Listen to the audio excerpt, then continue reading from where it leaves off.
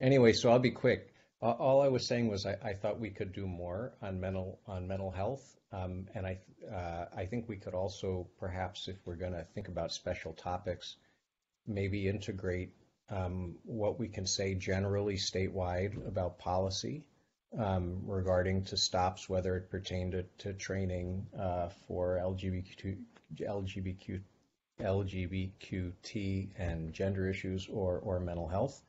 Um, uh, and I, I, just think if we incorporated that, it would it would help uh, contextualize a lot of what we're seeing and also aid the public in interpreting the, the data patterns. Sorry for, for getting kicked off the call. No problem. Thanks for coming back. Uh, others?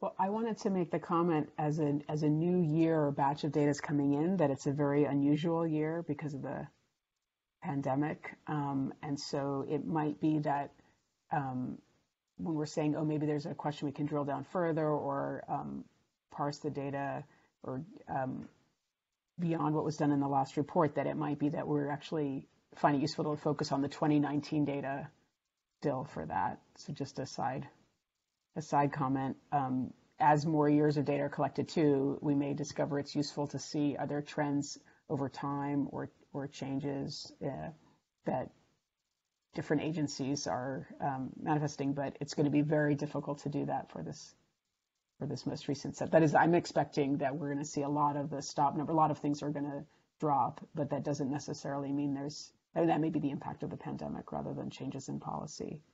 Um, I also wanted to put out as a strand, just or something for us to keep in the back of our minds um, concerning the accuracy of data. I mean, the RIPA this is an incredibly rich data set. Um, there have been um, these reports we saw one from the LA um, Inspector General last year comparing body camera data to uh, various officer reports, and they're not aligning as well as we might expect. And so, um, so something for us to keep in mind too will be. I, am not. I'm, I do not have a great research question in mind. I'm not sure how we probe this. The data we have still tells a profound story, but thinking about accuracy of data collection efforts um, each year. And I, ha- I haven't, I'm not up on the latest story, but there is a report in the LA Times, I think today, um, about some underrepresentation from the LAPD in terms of numbers of stops reported this year. That I would just in the recent months. That's not the RIPA data. That may become from more casual reporting, um, and it's not necessarily held to the same standard of the data collection that the, the data DOJ is receiving. But anyway, I just I guess I'm saying I want us to be mindful of what's being reported in the press and you know keeping an eye on does the RIPA data still look robust enough to draw inferences from? I think it I think it does, but I want us to be mindful of the accuracy or potential for misaccuracy. I'm not sure exactly how we should address that in our next steps in reporting, but I wanted to put that out there. And we should be also looking at other areas that were uh, that we'd like more research or information on outside of just the two or three that were presented this afternoon. If there are other subject areas that we think would be important to include in the report, we should also be thinking about the, those as well.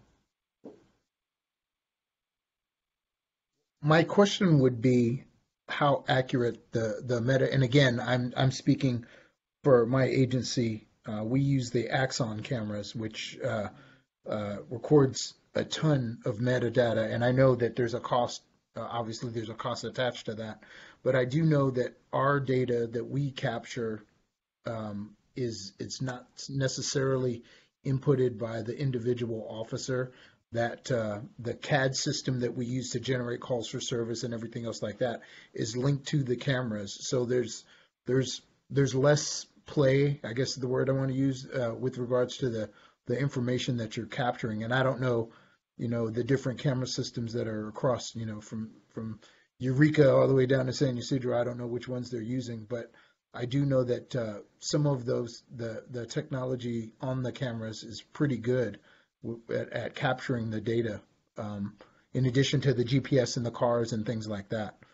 Um, um, and then the CAD system itself that says on this date, this time, Officer Hampton conducted a vehicle stop you know, and then he cleared that call at this particular time, stuff like that. That I mean, there, there, the data is out there. I think uh, for the purposes of this group, it would be trying to capture it and trying to figure out the the the best way to capture that to get the the highest amount of accuracy for something like that. So maybe down the road, there's a way to take some small subset of the RIPA data or from a particular agency and and compare it to the reporting coming from the type of, you know, what you're talking about, the metadata from body cameras, just as an integrity check Right. on on the RIPA data. Yeah.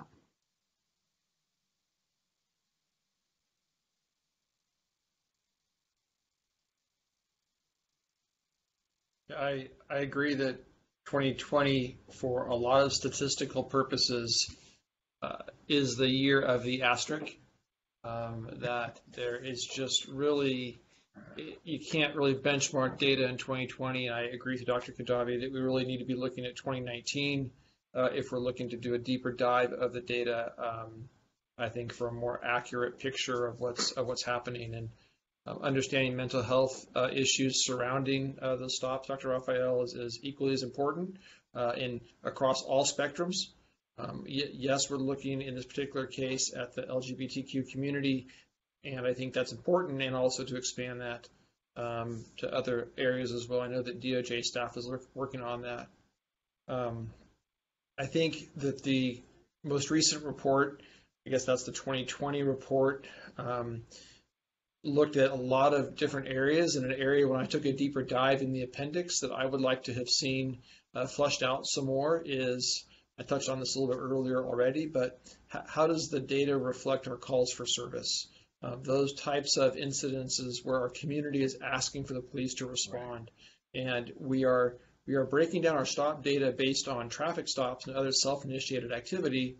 Um, and in my review of the data, um, it showed that our calls for service, um, that we are being requested to calls for service in, contacts that have a greater um, disparity, if you would, or disproportionality uh, based on uh, the demographics of our community.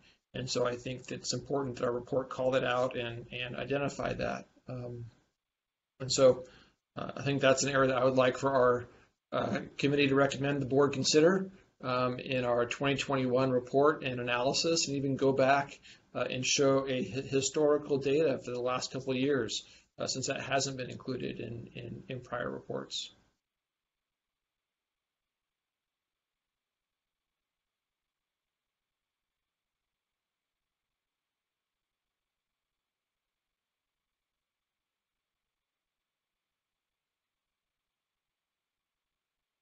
Any uh, additional topics for consideration?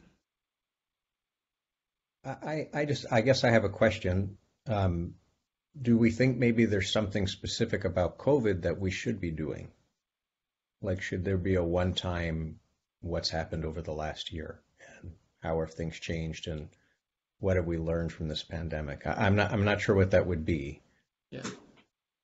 Yeah, I don't know what it would be related to um, to stop data. I think maybe once we see the data, we can look at it and understand it and and see if we can assign uh, COVID implications to some of the results once we see the results. Um, I think, I think uh, uh, Officer Hampton would agree. I think what we'll see as a profession is a dramatic reduction in number of stops, whether it's from the Highway Patrol, LAPD, other Wave One, Wave Two, Wave Three agencies, um, just based on um, the the nature of policing for the last ten months or so. Oh, yeah, um, Chief, uh, absolutely correct. I'm looking at right now, uh, we call it a CAPS report. It's the annual um, um, analysis of calls for service, uses of force, uh, part one crimes, uh, um, uh, traffic collisions, officer involved traffic collisions. And I'm looking, it looks like we're about 25 to 28 percent less um, um, activity overall. As I'm looking at the different things, front counter reports, online reports, um, 911 calls, business calls, all of those are trending down as I'm looking at the data that we have here. So I, I would agree with you, sir, that that's, uh, that's probably going to be uh, across the board, not just Anaheim.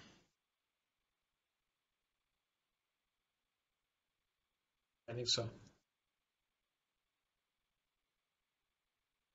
Um, are there other uh, specific research topics to consider?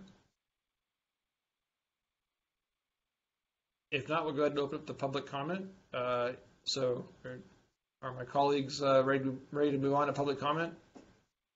Okay. All right. Uh, with that, we'll go ahead and open up the meeting for public comment, and we'll do this uh, as we have in prior committee meetings, uh, starting by geographic region. Um, and since uh, historically Southern California seems to have uh, the most number of people uh, that are speaking at our at our committee meetings, why don't we start down south? Um, and so we'll start with uh, Southern California and DOJ staff. I understand what's if someone would like to speak, just un do they identify themselves in the chat? Do they unmute? What's the best way to do this on Blue Jeans? People can unmute their microphone uh, and video if they desire, and we generally request uh, two minutes of public comment per person to allow more Okay. commenters. Great, thank you. And then, sorry, Chief Swing, um, this is Allison. There may also, um, so at the end, we may also just want to give the opportunity if anyone is participating just by phone and not through the Blue Jeans app. So um, just want to note that when we're done with the Blue Jeans comments. Thank you for that. Allison.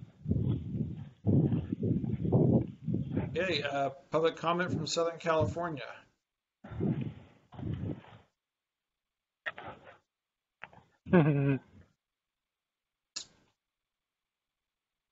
It sounds like hearing none. How about uh, Central California? Any public comment from Central California?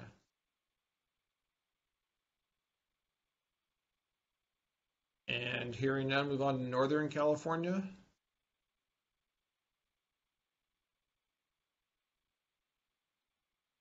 And then finally, for those that are not on the Blue Jeans app, but uh, are on the phone and would like to provide public comment, All right, Chief Swing, we have two, um, we have someone who's raised their hand, um, and we also have a question from Michelle Wittig, who says she's unable to um, work the audio.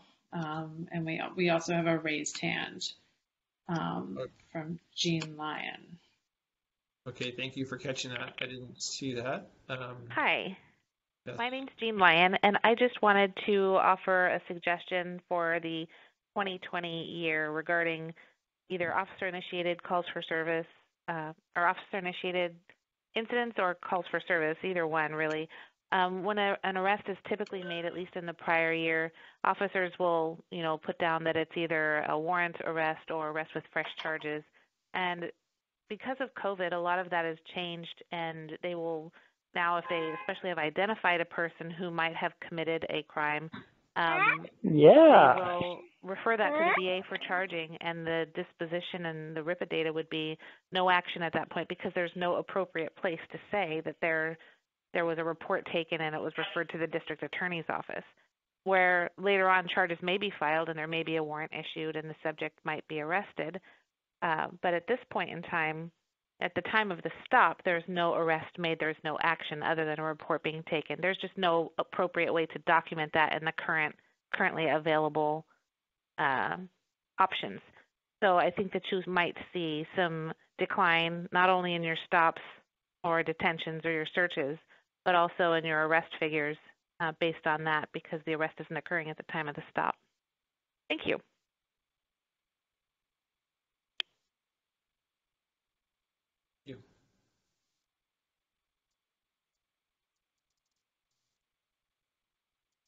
Would it be best for us to read the comment from uh, Michelle Wittig?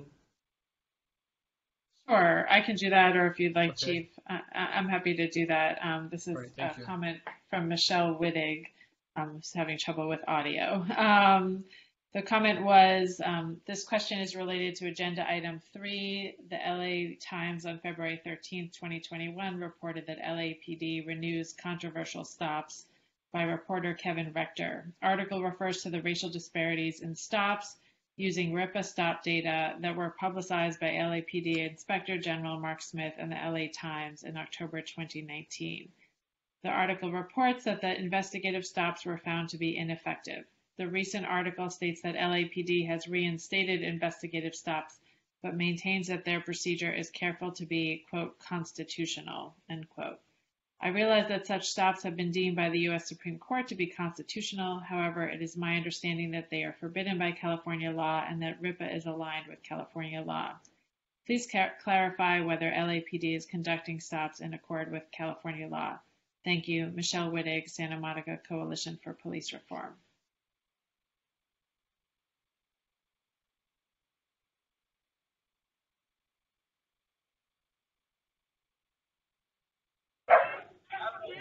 Hello, hello, sir. Hello. Yes, go ahead. You have, you have a comment?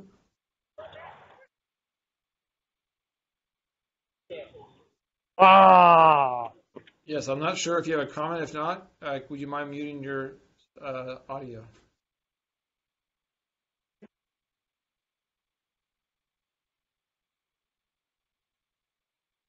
Response to the comment from Michelle Wittig, um, the question about clarifying whether LAPD is conducting stops in accordance with California law, I don't know that's necessarily the purview of our committee to be able to, to uh, comment on that.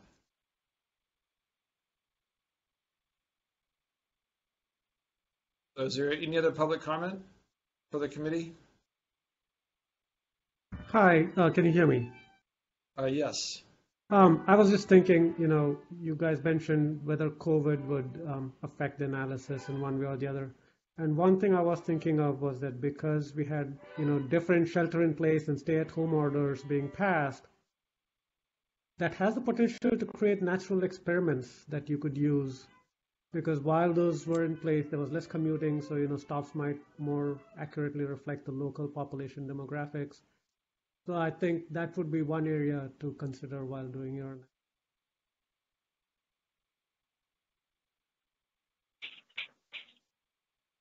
I think I think that's a great point. Um, that clearly the tourism and employment sectors have changed in the last year, and uh, the data might be more reflective of a local, regional community as opposed to a, a broader transient tourism or employment-based community.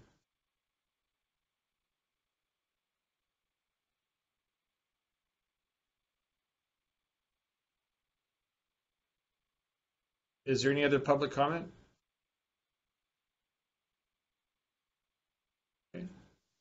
We'll go ahead and close public comment, and move on to discussion of next steps. And I'll turn that back to committee.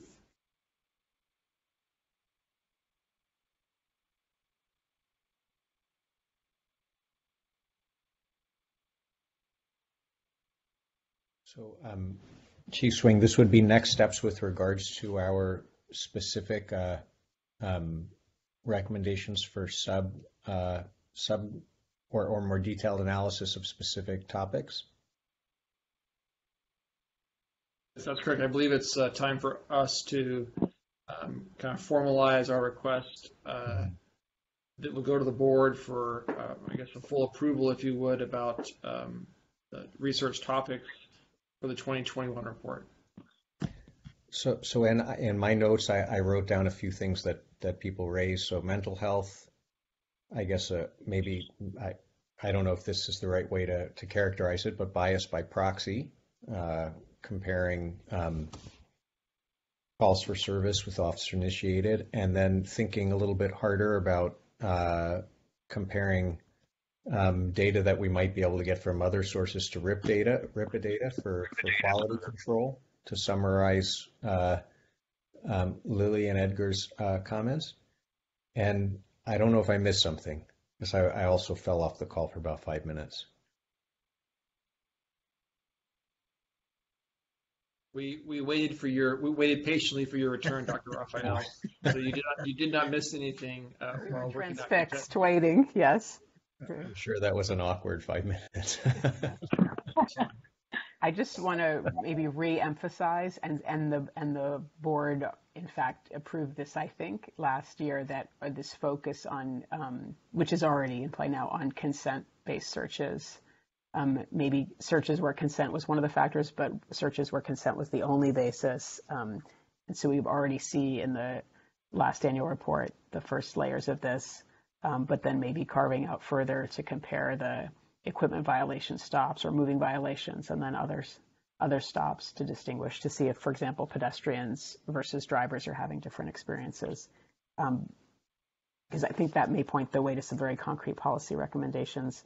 Um, and also um, continuing this focus on the LGBTQ plus community. Um, I know we've already touched on these, but just if these are summarizing comments, Mhm. just to reinforce that. Yeah, forgive me. So we- also have the, yeah, the, the two presentations we have that should be on our list as well. The LGBTQT and then the, these, these specific types of stops. Uh, I wonder if it would be helpful, I, don't know, maybe we need to do a little bit more background work on, and, and um, maybe if DOJ staff could weigh in,